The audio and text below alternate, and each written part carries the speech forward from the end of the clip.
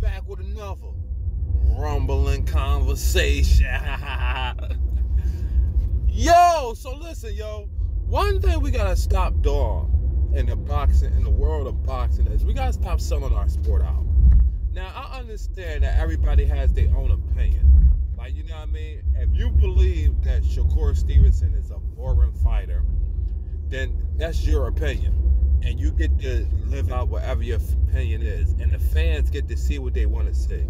But we gotta stop as as boxing fans, hardcore boxing fans, we have to stop selling our sport out.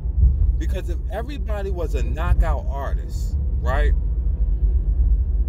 The sport wouldn't be as great as it is. You know, you want to see that knockout artist against a strategic boxer. You know, that's always been throughout history. We always wanted to see the knockout artist against that strategical boxer. To see is that knockout artist going to be able to to uh to uh inflict pain on a guy that that never gets in trouble. And for now, now recently, since everybody has been in the sport for looking at numbers and looking at different aspects of the sport, now we got a different uh we got a different sport. We got a different sport. We want everybody to be 100% a gate draw. We want everybody to be a knockout artist. We want everybody to have the same abilities as everybody else has. And that's not the sport of boxing. That's not the sport of boxing. I get it. Everybody is not Floyd Mayweather. I get that. And in time, the guys that's not as good as they as they say it is, it will tell on them.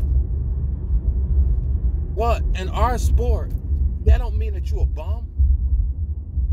Like if if it was no PED scandal in between Ryan and Devin, that don't mean that Devin a bum because he lost that fight straight up. That don't mean that he's he, he, he's a bum. He lost a fight straight up. That makes the guy a fighter. You know, I, I'm really I'm furious with this rhetoric that everybody has to be undefeated. Everybody has to be a knockout artist. Everybody has to be an exciting fighter. Bernard Hopkins wasn't a exciting fighter. But I think I got Bar- Bernard Hopkins on my top five of all times. Bernard Hopkins was ducked from so many great champions because he wasn't an exciting fighting fighter. They made Bernard Hopkins run the long way uh, Terrence Crawford. Y'all don't deem Terrence Crawford as the most exciting fighter, even though he gives you knockouts after knockouts after knockouts. Y'all don't deem, deem Terrence Crawford as a exciting fighter. We actually, and I'm saying we because me, we actually looked down on Terrence Crawford, but he ended up being the fighter of the century because of the beat between uh, Errol Spence. I say that to say that us as fighters, us as um, as boxing fans, we can be wrong. But don't condemn the sport when you're wrong. Don't rub the sport in the mud when you're wrong. Don't have a have a have ill will towards the sport when we're wrong. You know, and, and that's the that's the point that I'm making. You know, everybody has has a chance to everybody has a chance to be wrong with predicting the fight.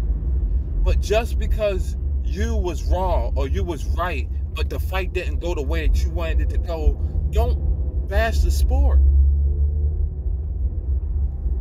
Love the boxers in the sport of boxing. I love the guys that hit and don't get hit. Is they exciting? It's exciting to me. It's exciting to me. We have to.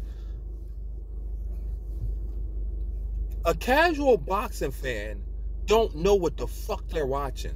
Us as as as hardcore boxing fans have to have to relay the message to the casual boxing fan and let him know well no that's that's what's taking place yo. No no no no no no that, that, that's what's taking place. The reason why he's doing that. Because a casual boxing fan tends to get stupid. A casual boxing fan tends to feel as though he's going to dictate to the boxing the boxing fan goats how this fight's supposed to go. So a lot of y'all guys get influence on these casual boxing fans. And then y'all start saying shit that casual boxing fans, us, us hardcore boxing fans, start saying bullshit that casual boxing fans say. And that's bullshit, man. We have to understand that everybody is not a knockout artist. We never wanted them to be. That was the best part about the sport of boxing that everybody was not a knockout artist and you wasn't going to get knockouts all the time. You was going to get fights that go 12 rounds remember at one point mike tyson was knocking people out so much he had to carry on so the fight could be a little longer so people can get there because after a while knockout artists don't sell because people start saying well man he knock out everybody he fight. I don't want to see that guy so stop telling me that all of this hoopla is just because of of he's fighting the